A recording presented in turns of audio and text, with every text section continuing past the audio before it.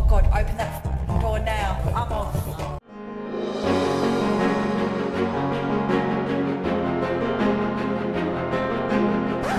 You tell a bit of a lie there. Bonsoir, je m'appelle Big Fat Liar.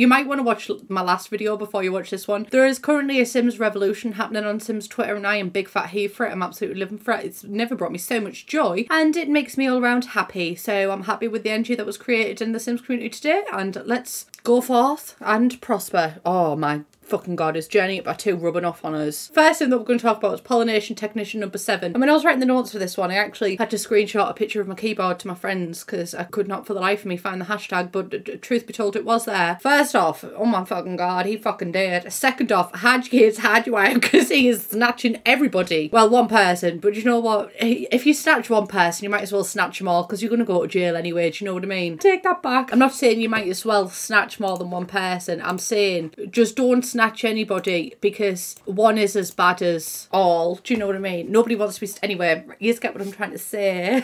also, for the ease of my asthma, because I am an asthma ridden girl, I'm going to nickname him Polly because I might, I'm not saying pollination technician number seven all the time. So, Polly is an outgoing little alien, actually. He's quite charismatic. His aspiration is popularity. I mean, they do say serial killers tend to be popular because that's how they get away with it. So, I'm not you know, I'm not necessarily saying the two are the same. Maybe that is what I'm saying. Maybe it is. He cares about the environment. Love that for him. Entertainment and food. He also cares about weather and money and is not interested in the least about sci-fi, which might seem odd. And at first I was like, oh, haha, that's ironic. But then I thought, well, I'm English and I don't necessarily agree or I'm entertained by either the British Empire or the royal family. So, but I do like, honestly, I do like Diana. I do. She was the people's princess, though. Let's not, maybe I, you know, you know what, maybe I am living up to the English stereotype, just not the racism. He also has a healthy interest in crime, which fully reflects his life, honestly, because he is pretty much a kleptomaniac, but of Sims. So kind of a kidnapper, but abductor. That's the one. He is actually part of the infamous Caliente family, which if Bella or Mortimer happen to be watching this, just honestly back away, babes. Pretend you do not see him. Do not communicate with the fucking Calientes, because it might seem like a good idea to look out of a telescope, but then you're an infamous character in the Sims franchise who still quite hasn't been found. Also, it's not a coinky dink that the Calientes came a Pleasant View the night that Bella Goth was abducted, and also they have alien relatives. I'm just saying. It's also not quinky dink that one of the Caliente sisters is now dating Mortimer because just run, Bella Babe, run. His connection with the Caliente family starts with the abduction of Nesta, then went on to have a human alien hybrid baby called Flamenco Caliente, who then went on to marry Nighat Caliente, not the imposter that we see in The Sims 4. I do not know her. If she walked down the street, uh, I wouldn't know a thing. Who is she? Where did you find her? Are you on drugs?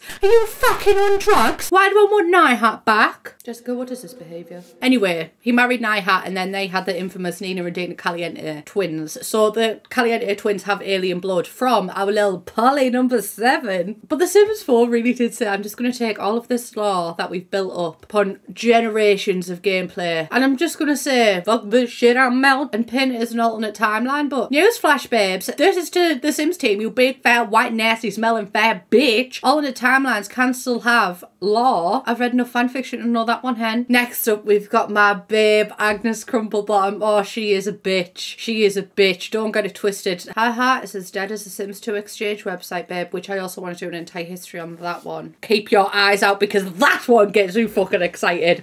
Oh my god, the Sims, you know, save it, save it for the video, save it for the video. I do already have a full Agnes Crumplebottom history of which I'll link if, up here if I remember. If not, you can just search on the YouTube Agnes Crumplebottom entire history of because I've already covered it. And Jesus Christ, this story stuck with me. Not because, not in like the Bella Goth way where a story sticks with you because you think, Fuck, will we ever solve this mystery?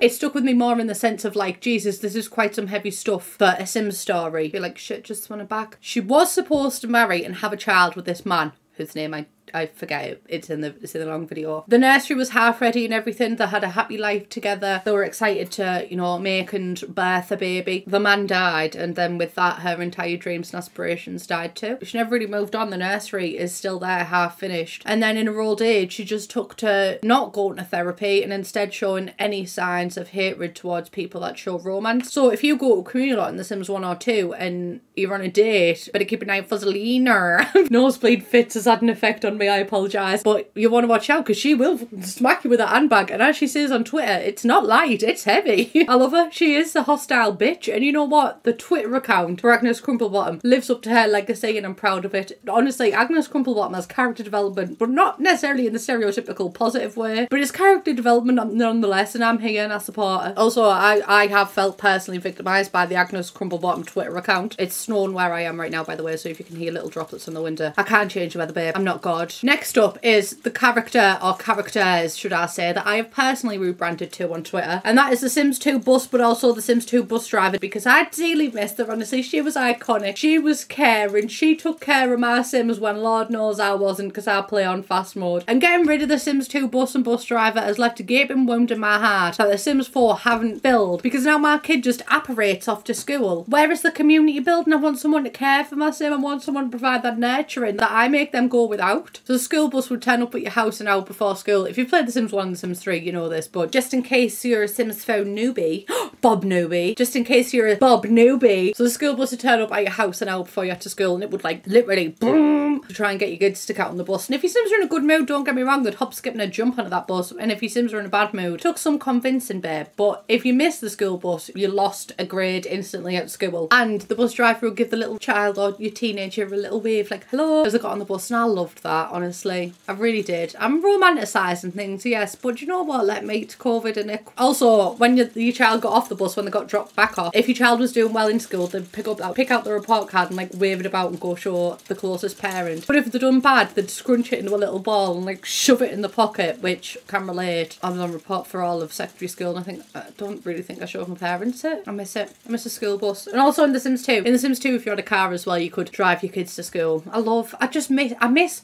mobility, social mobility for Sims in 2021, please. Also, each town had pre-made bus drivers, which I didn't actually know until I was researching this, that each town had its own ones. But Pleasant View has a couple, but my favourite is David Thompson. I am simping over him, but just let me have my moment, babe. He is in fact single, which is, I'm happy to know. And he's got the romance aspiration. He can cook, he's smart, he can clean, he's basically the perfect man, but not for me. The only man I support is our Lord and Saviour, Mr. Fitzwilliam Darcy. Next, I've talked up the infamous Bob and Betty newbie. And again, if you're a newbie, I already have a full-on video about them, but it's not the entire history of the newbie family, it's the entire history of the Broke family, because families in earlier Sims games are all interconnected, my darlings. But Jesus, these are probably the most infamous Sims. If you played The Sims 1, then you'll know this. Like, if you started on The Sims 1 and you played the tutorial, you're going to know Bob and Betty newbie because they were the tutorial family. I just love them, I miss them, and I need them. And they have their own Twitter account, right, where Betty, Betty tweets like a boomer using Facebook, and honestly, I am here for it. I never want this revolution to end. Lastly, we're going to talk about the social bunny, and I miss the social bunny daily. I don't necessarily need him because I'm, I'm quite debilitatingly introverted, but I think, you know what, I think a lot of YouTubers are like that, specifically gaming YouTubers, and even more specific than that, specifically Sims gaming YouTubers. So basically, the social bunny kind of replaced the tragic clown from The Sims 1. The tragic clown turned up if your overall mood was low, and then he'd try and make you feel better, but he'd fail because he's the tragic clown. It's tragic. And he'd try and crack jokes, but they're just pure shite, so your mood would just get even worse. But the social bunny, the social bunny was a cultural reset because it actually helped.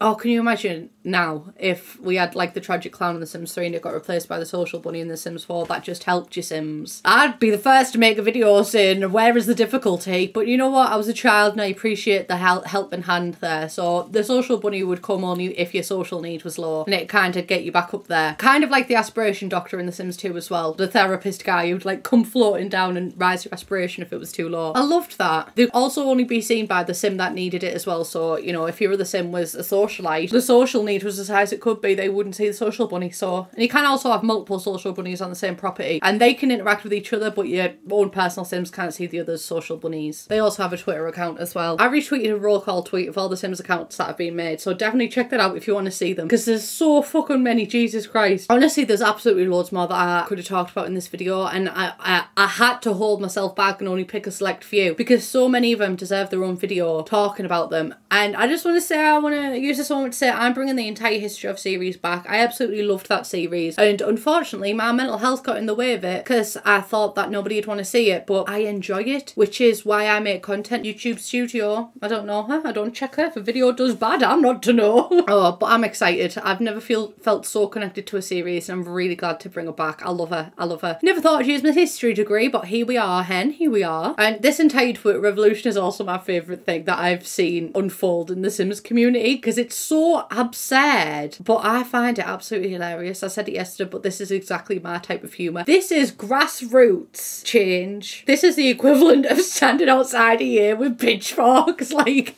give us the lore. But yeah, I, I think underneath it all as well, there is a really strong message of like, listen to us, we want these things, we need these things. We're just kind of doing you a favour by presenting it in a funny way, not in an attacking way. There's little things that make a difference in the Sims franchise, I think. Being on edge when you're on a date in case Crumplebottom turns up and smacks you with the handbag. The little interaction between the bus driver and the child, like waving at each other as they're going to school. And also default Sims having entire family trees and lore before you've even played with them. I just, I want it all back. However, I will say in defense of The Sims 4, it is impressing me lately. Like a lot of the stuff that is being introduced, like lifestyles and everything like that. It's impressing me. The lore that was introduced with the Sims 4 Paranormal Stuff Pack, I think we're, we're on a good track right now. And I think that the Sims team is listening to us. I just think that sometimes there's a bit of delay because things take time to produce. But I'm also a bit skeptical because there are just some inherent faults with the Sims 4 as a game. And some things I'm like, can we even, can this be done? At best, this stuff gets implemented to the game. At worst, it doesn't. and in the middle is the here and our critiques and they're going to put it in The Sims 5, but they're better because I don't think my asthma could cope with how many bitching videos I'd have to make if this kind of stuff wasn't included in The Sims 5 and wasn't introduced. So, like, yeah, let me know what you think. Let me know what you think. Are you also a self proclaimed whore for lore?